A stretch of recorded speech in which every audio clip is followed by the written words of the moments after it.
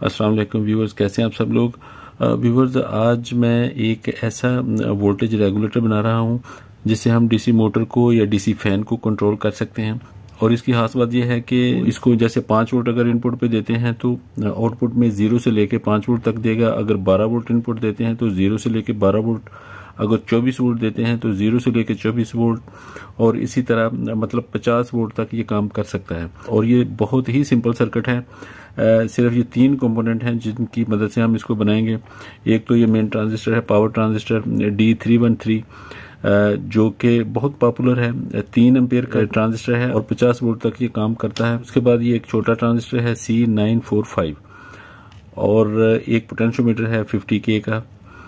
Transistor دونوں N P N ہیں اور یہ دو ٹرمینل ہیٹ سنک اور یہ ایک چھوٹا سا ویرو بورڈ کا پیس۔ اور اس کا سرکٹ ڈائگرام ویڈیو میں ہی ہوگا، وہاں سے آپ دیکھ سکتے ہیں۔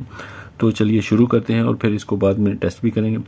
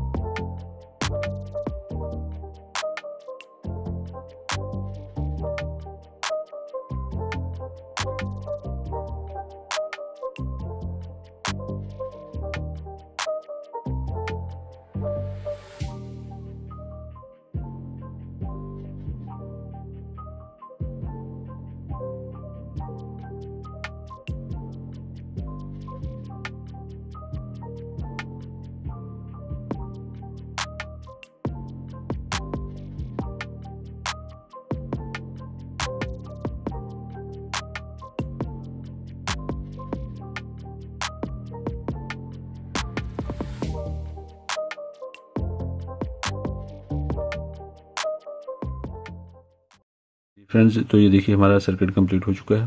اب ہم اس کو ٹیسٹ کریں گے۔